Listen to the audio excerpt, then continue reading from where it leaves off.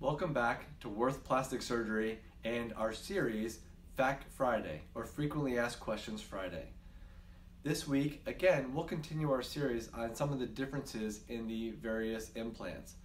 I'll focus on silicone gel filled implants today, but these same differences apply to saline implants.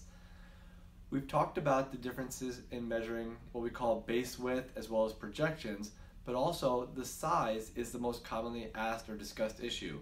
People want a certain size or CC or volume. Well, just to highlight that there are significant differences, I have two uh, older implants here. One is a 275 cc implant and one is a 600 cc implant.